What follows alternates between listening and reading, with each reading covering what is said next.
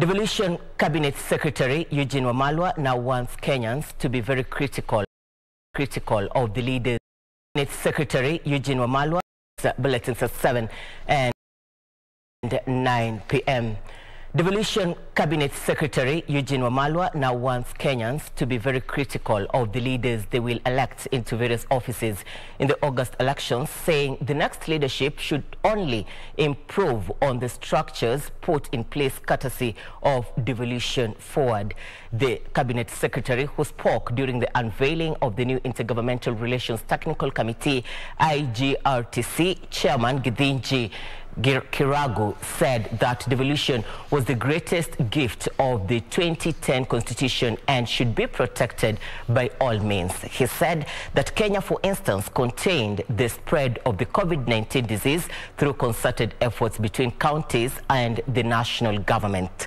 Githinji was appointed by President Uhuru Kenyatta to chair IGRTC for a period of six years.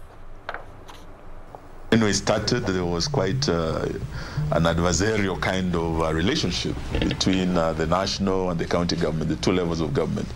But with time, we have greatly improved the intergovernmental relations, and we have come to realize that uh, uh, we might be two levels of government, but we are serving the same Kenyans. There's also an opportunity.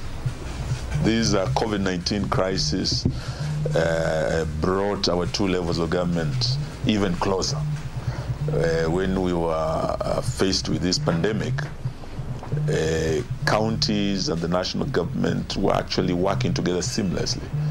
And uh, we've been able to achieve a lot in the health sector. National government which has to score in delivery to the people of Kenya. It is the county governments which have to score to the delivery of Kenya. We are here to backstop you, to backstop the national government, to backstop the county governments, to do better what you are doing. But uh, mine as a PS had